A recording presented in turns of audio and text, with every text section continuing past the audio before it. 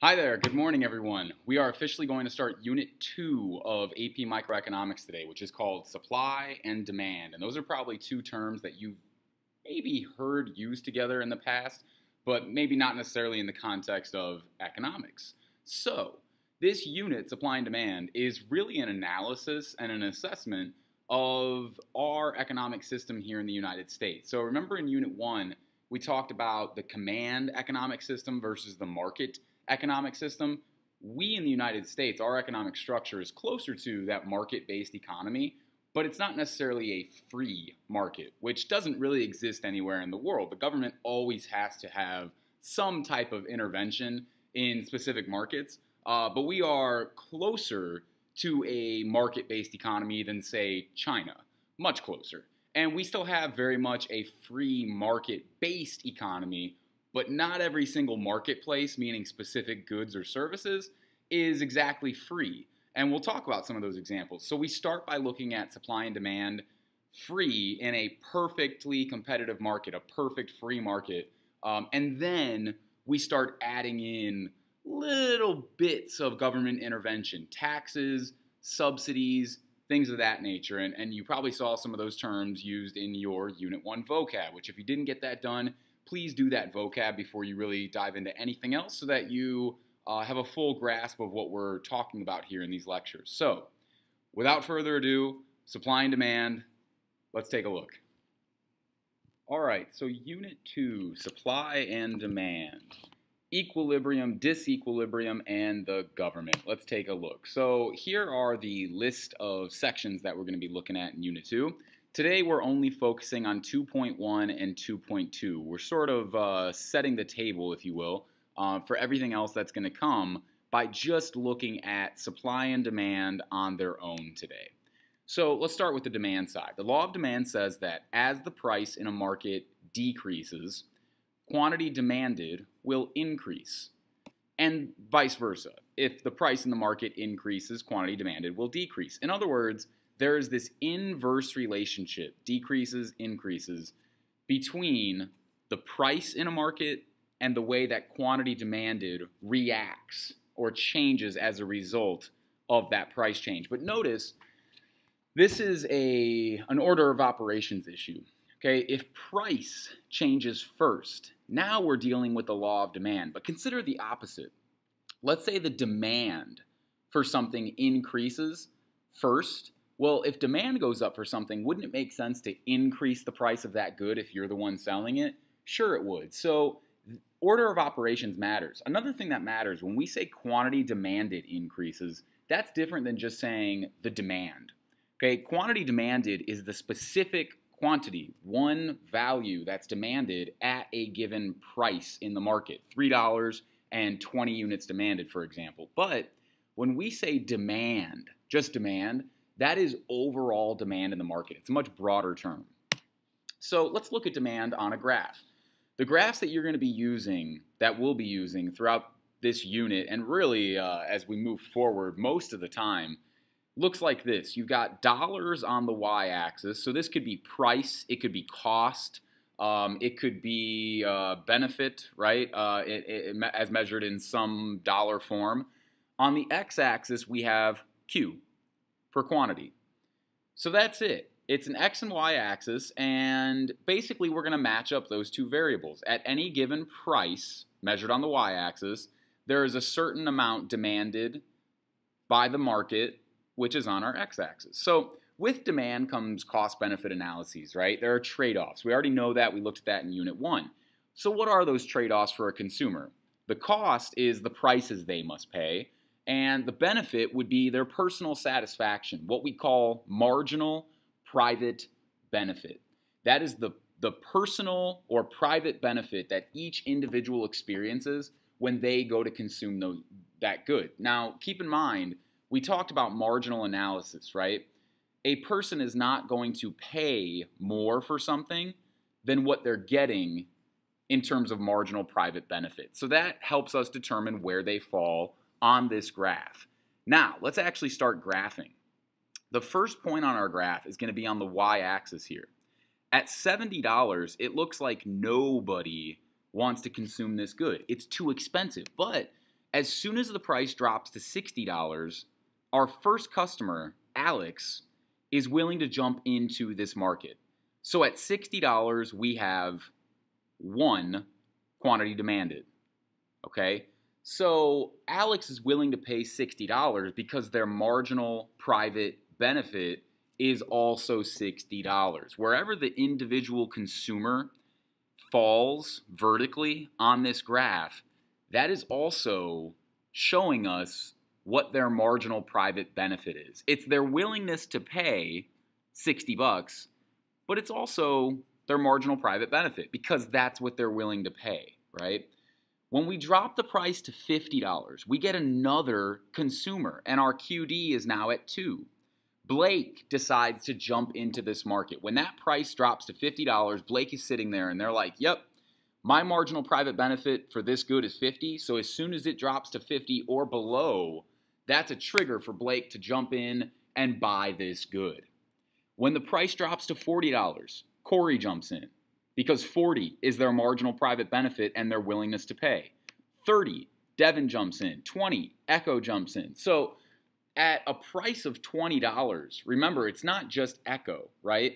It's Echo plus all of these other individual consumers who are willing to pay at least $20. So the reason it's five and not just Echo, just one, is because we have to include Devin, Corey, Blake, and Alex, who are all willing to pay much more than $20. Now, you can see the definite trend occurring here, right? As price decreases, quantity increases. As, as price decreases, QD increases. Price decreases, QD increases. That's our law of demand. And it's going to continue all the way down until we get our demand curve. So our demand curve will normally be negatively sloped because of the, the process that you see taking place here.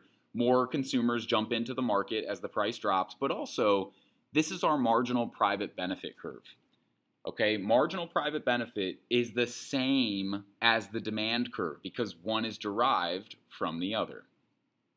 So that's a little bit of the demand side of things. Now, there are different things that can change, right? We might substitute a couple goods for one another. Our income might change. Let's talk about the substitution effect. The substitution effect essentially just says that as the price of one good changes, it changes how we view another good. So with substitutes, actual substitute goods, they replace one another. So let's go back to this graph. On this graph, as this price increases, they're going to lose Echo as a consumer. They're going to lose Devin. They're going to lose Corey. And, and they're not just going to put their money in their pocket. They're going to go buy something that's more affordable or more beneficial to them instead of buying this good, right? So the substitution effect is pretty powerful. The complementary effect falls within this, this larger realm, but complements go with one another. Okay, so for example, if the price of peanut butter increases, we might see a drop in the demand for jelly because those are complements.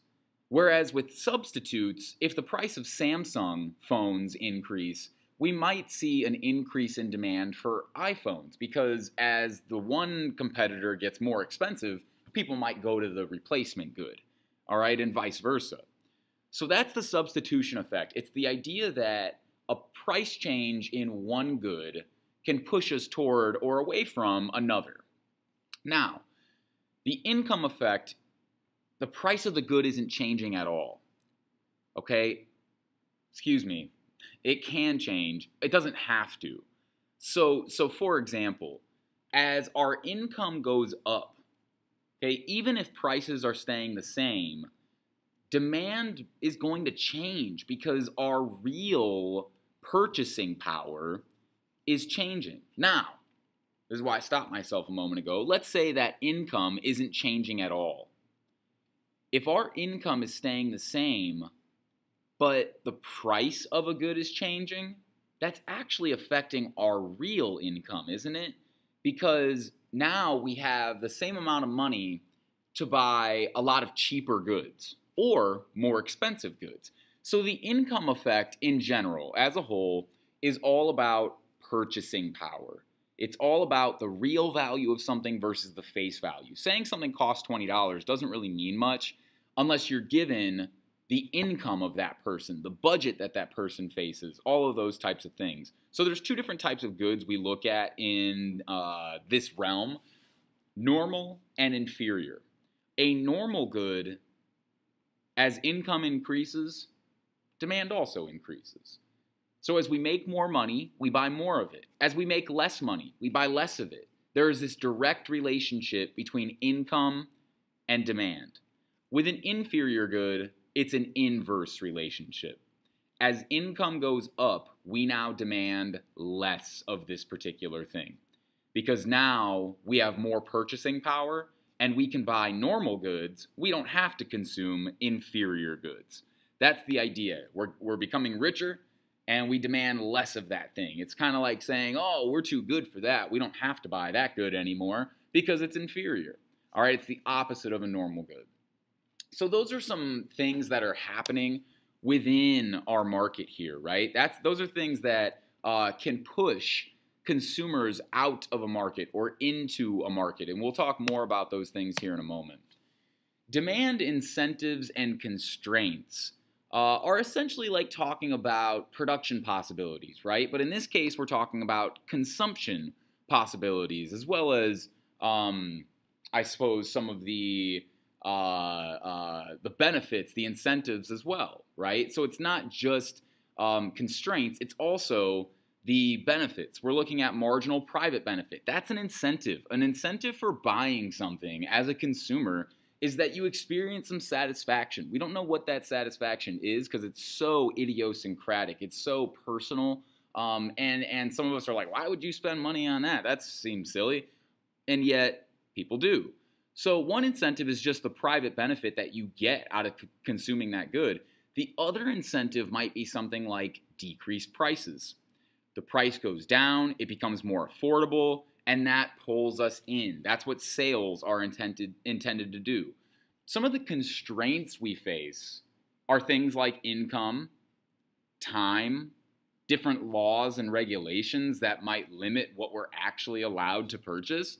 So we're, we're playing within this big system and we have these constraints, but we try to maximize our satisfaction. And we talked about that a little bit in Unit 1. Now, the market demand is just a, a summation, okay, of all of the individual consumers. So let's say we have three consumers in this particular market. There's Jordan, Braun, and Amir. Okay, Jordan um, at $20 demands zero units of this good. At 15, one. At 10, two. And at $5, Jordan demands six. Now, to get the market quantity demanded, all we would do is take Jordan's plus Braun's plus Amir's quantity demanded at that particular price. And that gives us market. So at $20, Jordan 0, Braun's 0, Amir 1. So the market quantity demanded is 1. At $15, Jordan's demand is 2, Braun's demand is 2, Amir's demand is 4. So market QD is 7. So I just wanted to point out that these market demand schedules or market demand curves right? The, the demand within an entire market at different prices 20, 15, 10, and 5. Those are just summations of these individual consumers' QDs added up at those different prices. Okay? Uh, finally, we might see a situation where something like this can happen. For market demand, it can shift. And we started already talking about this a little bit with substitute goods, complementary goods, normal goods, inferior goods.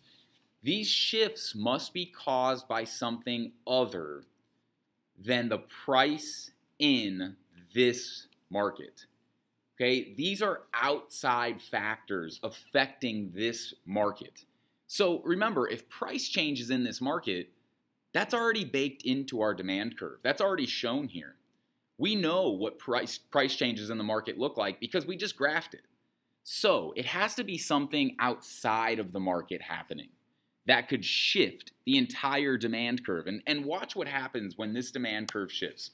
Before it does, we've got our nice handy dandy demand curve and our marginal private benefit curve, and everything is really clean and nice. But as soon as that shift occurs, this is our new demand curve now.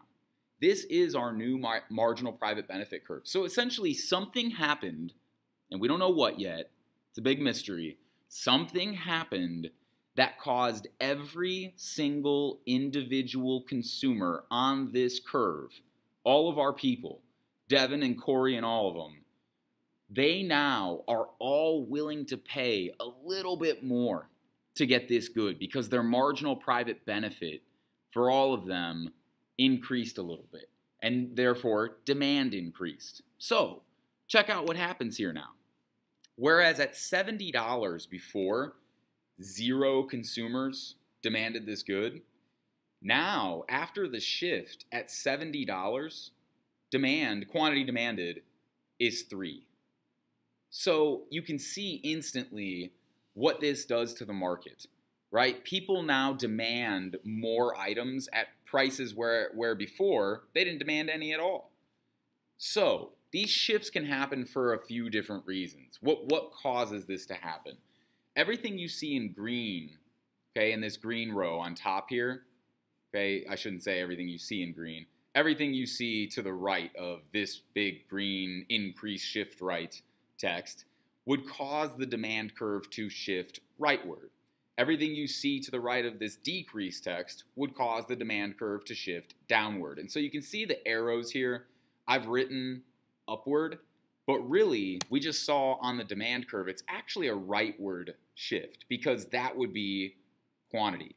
People want more of this item. So what could cause that to happen? the price of a substitute could change. So let's say goods X and Y are substitute goods. Well, that'd be like iPhones and Samsungs, right? So if a Samsung price goes up, then the demand for iPhones will probably go up because they're competitors. And some people are going to think, well, I went to the store yesterday and today the price went up for a Galaxy, but the price of the iPhone stayed the same, so it actually looks better. And that would increase demand or shift demand to the right. The opposite would be if the price of the Samsung Galaxies went down, now those iPhones look a little worse in comparison, don't they? Because even if the price didn't change, the Samsungs did they're on sale and we might give it a second thought before we just buy the iPhone. So our demand for that iPhone might shift down a little bit. The same can be true of complements.